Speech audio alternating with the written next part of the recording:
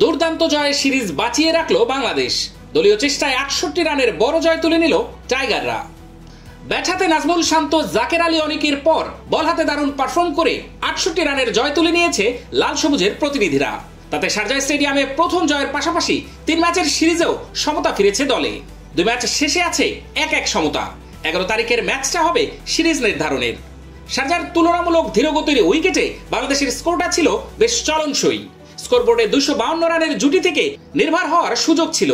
চতুর্থ ওভারে রমানুল্লাহ গুরবাজকে ফিরিয়ে সেই ইঙ্গিতটাও দিয়ে রেখেছিলেন তাসকিন আহমেদ। অফ স্টাম্পের বাইরের বলে গুরবাজ ক্যাচ দেন স্লিপে থাকা সম্মর হাতে। তারপরেই বাংলাদেশ ভক্তদের কপালে চিন্তার ভাঁজ ফেলেছিলেন সেদিকুল্লাহ আতাল ও রহমত শাহ। মাঝে জাকের আলী অনিক স্টাম্পের পেছনে স্ট্যাম্পিং এবং ক্যাচ দুটোই ছেড়েছেন। বাউন্ন রানের সেই জুটি ভেঙেছেন নাসুম আহমেদ। মিরাজ নিয়েছেন দারুণ এক ক্যাচ অধিনায়ক হাসমতুল্লাহ শহীদি আর রহমত শাহর পরের জুটি তেতাল্লিশ রানের। তখন আফগানিস্তানের হাতেই ছিল ম্যাচ।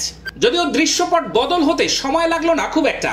একটা উইকেট যেন অদৃশ্য সুতো হয়ে টান দিল আরও দুই উইকেটকে একশো আঠারো রানে হাসমতুল্লাহ আউটের পর নাসুমের ওভারে আফগানিস্তান হারালো আরও দুই উইকেট একশো আঠারো রানে দুই উইকেট থেকে একশো উনিশ রানে পাঁচ উইকেট বাংলাদেশ ম্যাচে ফেরে সেখানেই। মোস্তাফিজুর রহমানের বলে ক্যাচ নিয়েছিলেন শরীফুল ইসলাম।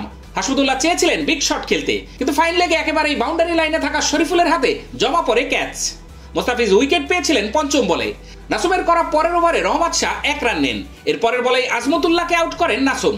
সরাসরি বোল্ড হয়ে ফেরেন আজমতুল্লাহ। দুই বল বিরতি দিয়েই হাস্যকর রান আউট ফিফটি করা রহমত শাহ। ভুল বোঝাবুঝিতে দুই ব্যাটারি চলে যান অপর প্রান্তে। ছয় বলের মাথায় নিজেদের তৃতীয় উইকেট পেল বাংলাদেশ। তবে ক্রিজে আগে গিয়েছিলেন গুলবাদিন। আউট হতে হয় রহমত শাহকে। গুলবাদিন বিধ্বংসী হওয়ার ইঙ্গিত দিয়েছিলেন। শরীফুলের ওভারে তিন বলে এসেছিল বারো রান। পরে বলে অবশ্য শরীফুলের বুদ্ধিদীপ্ত চালে ক্যাচ নিলেন তাহিদ হৃদয়। পরের ওভারে মিরাজের দারুণ সুইংয়ে পরাস্ত মোহাম্মদ নবী। সরাসরি বোল্ডে ফিরতে হলো তাকে। রশিদ খানকে ফিরিয়েছেন মুস্তাফিজ। চিরচেরা স্লোয়ারে ক্যাচ দিতে বাধ্য করেছিলেন আফগান অলরাউন্ডারকে। আর শেষ উইকেট গিয়েছে নাসুমের ঝুলিতে।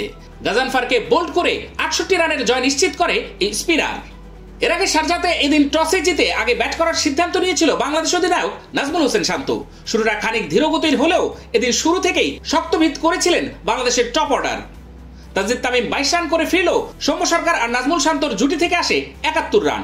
সৌম্য পঁয়ত্রিশ রানে ফিরলেও ফিফটি ঠিকই তুলে নেন অধিনায়ক শান্ত। তৃতীয় উইকেটে তাকে সঙ্গ দিয়ে একান্ন রানের জুটি করেছিলেন মিরাজ। যদিও এদিন আরেকবার ব্যাটিং ধস নেমেছিল বাংলাদেশের ইনিংসে। একশো চুয়াত্তর রানে তিন উইকেট থেকে একশো চুরাশি রানে ছয় উইকেট হতে সময় লাগেনি। অধিনায়ক নাজমুল হোসেন শান্ত ছিয়াত্তর রানের পরে সেই সময় কিছুটা বিপন্ন ছিল বাংলাদেশের স্কোর বোর্ড এরপরেই আসে জাকের আলী অনিক এবং নাসুম আহমেদের দুই ক্যামিও। এক চার ও দুই ছক্কায় নাসুম আহমেদ করেন চব্বিশ বলে পঁচিশ রান। সেটাই শেষ পর্যন্ত হয়ে থাকল বাংলাদেশ ইনিংসের টার্নিং পয়েন্ট। জাকের আলী অনেক শেষ দিকে চেষ্টা করেছেন। সেই চেষ্টার সুবাদেই বাংলাদেশ পার করল দুশো পঞ্চাশ রানের ল্যান্ডমার্ক। জাকেরের ব্যাট থেকে এসেছে কার্যকরী সাতত্রিশ রান।